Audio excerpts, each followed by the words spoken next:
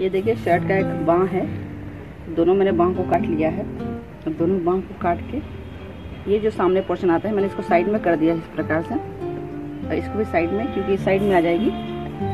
छोटे के बच्चे का हाफ़ पैंट आप बना सकती हैं या शॉर्ट्स बना सकती हैं।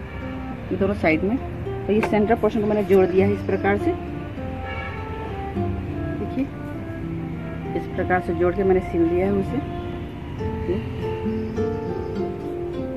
गया। अब अब और मैंने उसे सिल दिया, आपको आइडिया मिल जाएगा। और इसे मोड़ दीजिए, इसे ऐसे सिल दीजिए।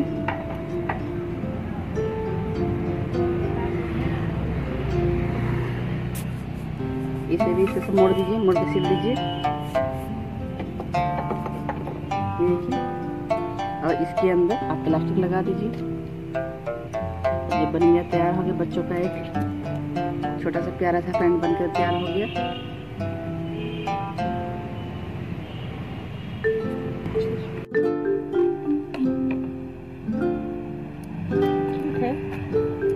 प्यारा भी लग रहा है देख के, देखिए। इसमें इलास्टिक लग जाएगा तो अभी प्यारा लगेगा, इस प्रकार से हो जाएगा थोड़ा ये। देखिए, इस प्रकार से बनकर तैयार हो जाएगा आपका पैंट इस साइड में है। आप इस तरह से लगा दीजिएगा।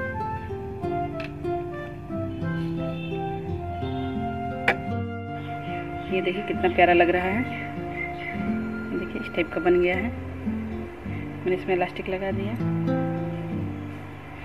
और ये जो है बांका साइड का, ये यहाँ हो गया। ये सामने का पोर्शन हो गया।